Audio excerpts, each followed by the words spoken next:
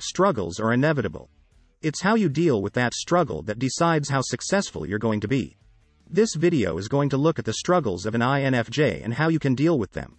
First, talk to someone about it. Talking about what's stressing you out can help take some of the pressure off. Talking to a friend, family member, or therapist can help you work through your struggles in a healthy way. If you're finding it difficult to give the best performance in your work or personal life, it may be helpful to talk to someone about it. Talking can help take some of the pressure off, and talking with a friend, family member, or therapist can help you work through your struggles in a healthy way. If you feel like talking is not an option for you right now, there are other ways to cope. Try taking some time for yourself each day, focusing on things that make you happy, or writing down your thoughts and feelings so that you can revisit them later. Second, take breaks. When you start to feel overwhelmed, take a few minutes to yourself to relax and calm down.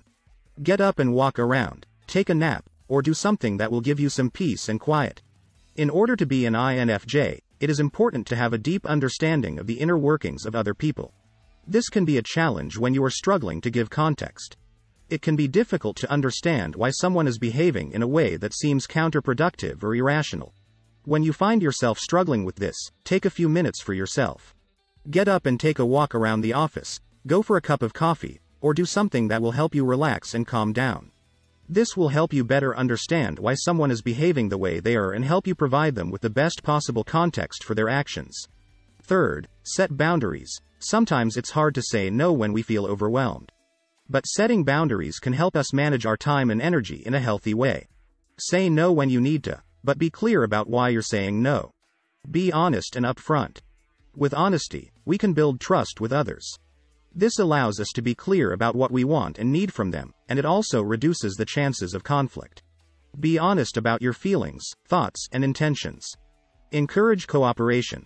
When we work together as a team, we can achieve more than if each member tried to do everything on their own. Encouraging cooperation can help everyone feel supported.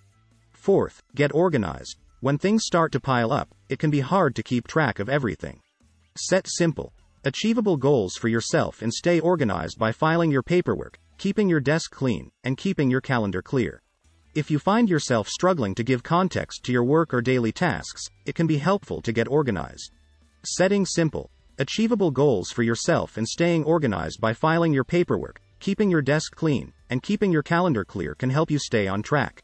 By focusing on the small things, you can make a big difference in your overall ability to give context. Fifth, Take care of yourself. When you're struggling, it's easy to neglect your own needs.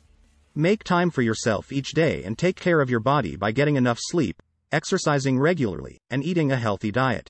Seek out external support.